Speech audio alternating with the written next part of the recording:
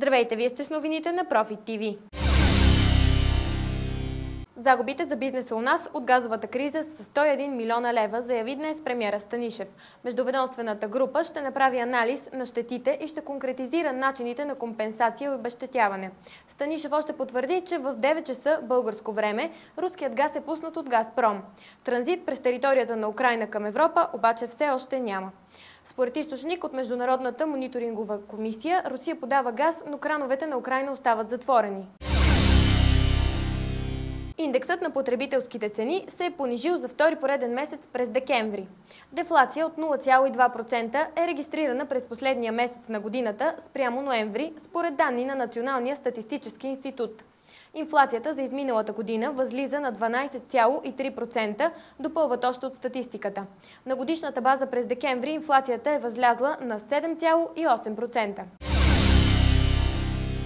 Ново отношение на клиентите към кредитите е една от тенденциите, които кредитният консултант без кредит България очаква през първата половина на тази година. Кандидатите за кредити стават все по-дисциплинирани и търсят по-добра предварителна подготовка преди да отидат при даден кредитор. Ситуацията се е променила коренно и клиентите осъзнават, че трябва да са добре подготвени и изрядни кандидати, за да получат финансиране. Все по-често, ако даден потребител е с нисък доход, той предпочита първо да започне да се осигурява на по-високи доходи и след няколко месеца да кандидатства за кредит, коментират от консултанта. При всички мрачни краски около световната рецесия е трудно да не се изненадаме от факта, че в България има 10 000 милионера, пише изданието QuestBG.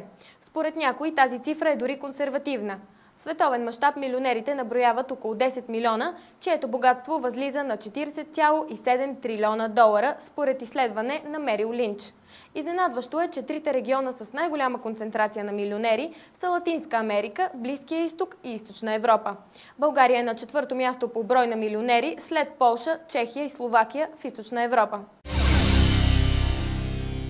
За поредна година България продължи да се изкачва в индекса на економическата свобода на Heritage Foundation и Wall Street Journal.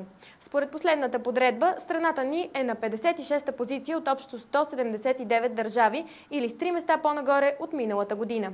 Положителното изменение се дължи на усилията и резултатите за подобряване на бизнес и фискалната свобода.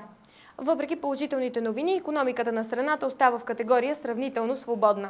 За 15-та поред година начало на индекса е Хонг-Конг. За още финансови новини четете Profit.bg.